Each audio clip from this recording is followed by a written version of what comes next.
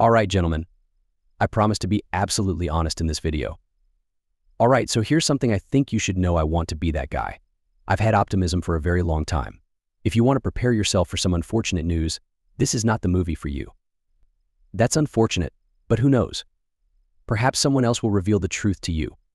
In this video, I believe it's crucial to emphasize one thing right now. AMC stock is going to crash and burn, and you will either lose everything you own or suddenly become extremely wealthy. That officially is Monday, so that may be tomorrow. 12, it's 2024, yet for some reason it feels like 2023. It appears to me that Roni Rona was two weeks ago, at least from where I am. Though it was two months ago, you get the idea. We ought to start by discussing the numbers. Anyone can say whatever they want to about Mark controlling everything, and I believe that has been the case. In my opinion, AMC is significantly undervalued and that there are phony shares in circulation. I can quantify that and provide evidence to support my statements. After following AMC every day for about 2.5 years, this is what I've noticed contrary to what we had hoped would happen in the end. It doesn't appear like shorts were ever rewarded or required to cover their short positions. According to algebra, AMC will thus fail if its stock price remains between $5 and $8. The range makes no difference. A large portion of AMC's $9.3 billion debt is due in 2026. It's not a good position, which is why Adam Aron and the AMC execs are afraid so much right now. In 2026, roughly $2.5 billion, give or take a little bit more. We could figure out the precise amount, but because AMC is far from being able to pay back that debt, I don't think it matters all that much. Things don't seem promising for 2026, even if they refinance.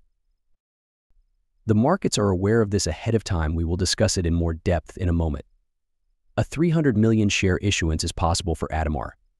I don't think it's reasonable that Adam Aron would tell the markets, hey, we're going to sell 300 million shares as soon as possible, since the stock would likely plummet to $2 or even $1, assuming that this subsequent round of sales results in the distribution of 50 million shares.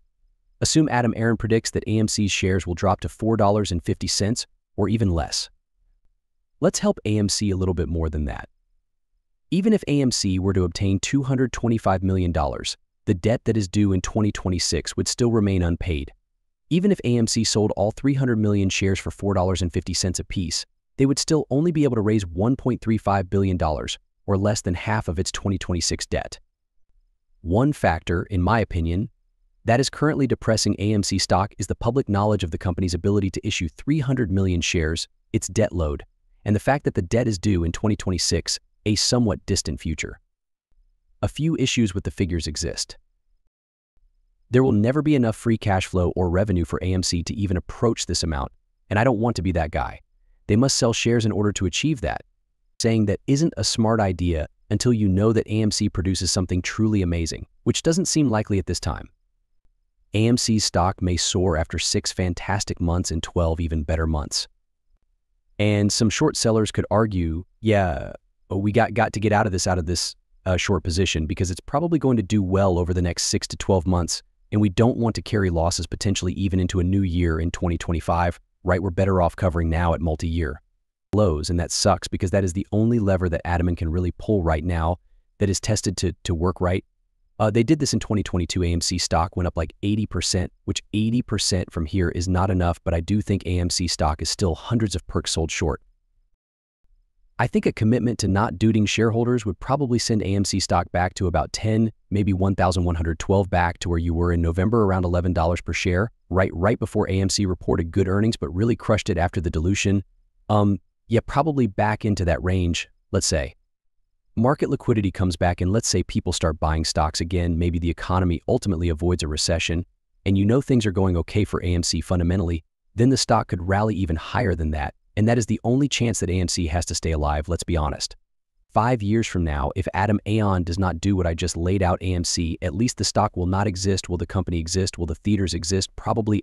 I mean, I'm sure someone will come in and, and buy AMC theaters at you know bottom barrel prices after they go through bankruptcy proceedings. Nobody's going to step in and take on $9 billion of debt, plus, you know, cash out shareholders. That's not going to happen. So, I mean, I, I, I, I know it sucks. I know you know people don't want to hear this. I, I don't want to hear this. I was hoping it did not come down to this. I didn't think AMC would. Would be at $5 per share, but I also did not think Adam Aron was going to be fiscally irresponsible with AMC And to AMC shareholders, I didn't think that I, I used to, you know, give Adam Aron a lot of credit and a lot of credit and a lot of, um, you know, um, free range, if you will. I figured he was going to do what was best. For AMC, and the just the last couple of months have really showed me ever since the court proceeding that's not the case right. Let me know what you guys think about this in the comments section below, and let me know if there's anything else that could cause AMC stock to go higher now.